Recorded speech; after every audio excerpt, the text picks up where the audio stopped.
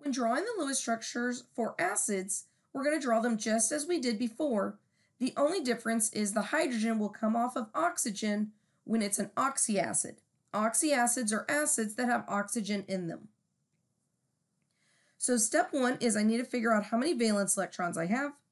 Hydrogen came in with one, each chlorine came in with seven, and oxygen came in with six, but we have four oxygens.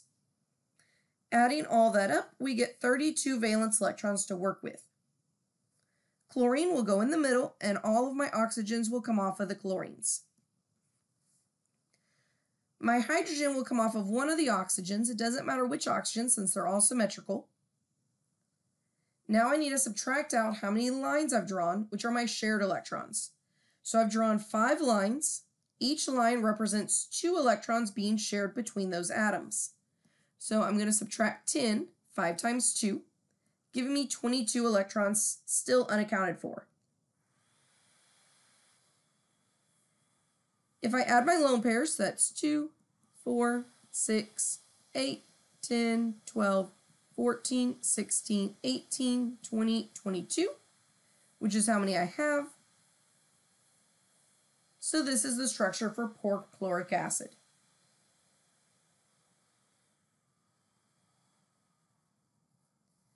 Ahead add up your valence electrons for nitric acid. Restart when you have your valence electrons.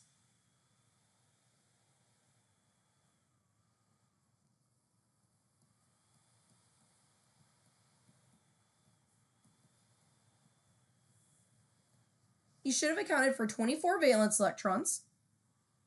So nitrogen will go in the middle, and although we only have three oxygens, that hydrogen again still has to come off of an oxygen. We've used one, two, three, four. Four times two is eight. So I've got 16 left. So that's 2, 4, 6, 8, 10, 12, 14, 16, but I actually need 18. So I'm too short. So I need a double bond somewhere. So now I've used 2, 4, 6, 8, 10, 12, 14, which with my double bond is my correct structure. You could do formal charge to figure out exactly where that double bond needs to go. but this would be perfectly acceptable.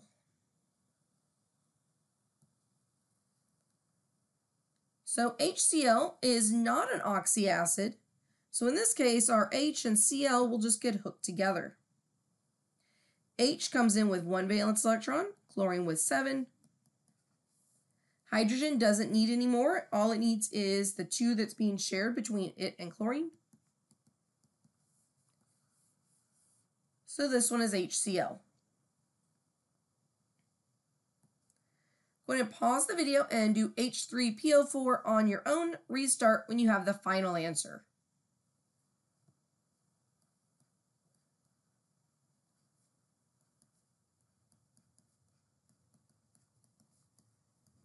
You should have 32 valence electrons. The P should go in the middle with four oxygens coming off of it. And since we have three hydrogens, three of the oxygens will get hydrogens. Subtracting that out, we have one, two, three, four, five, six, seven lines, so minus 14.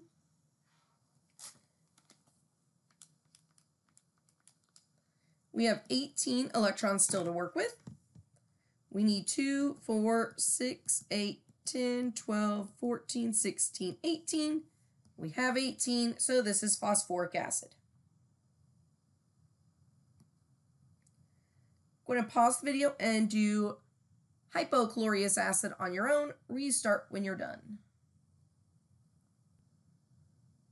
So this one's a little bit trickier because if you draw it the way that it looks, Cl would be in the middle.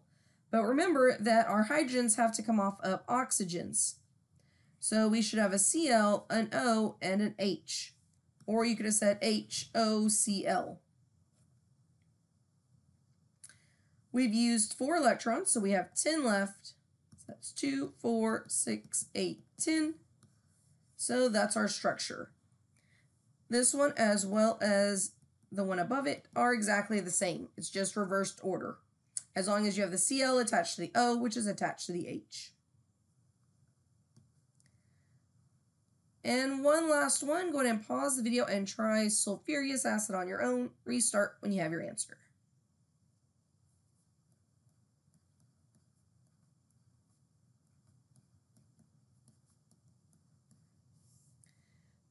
You had 26 to work with. Sulfur should have been in the middle with all your oxygens coming off. And then hydrogen's coming off of that. So then we've used 2, 4, 6, 8, 10.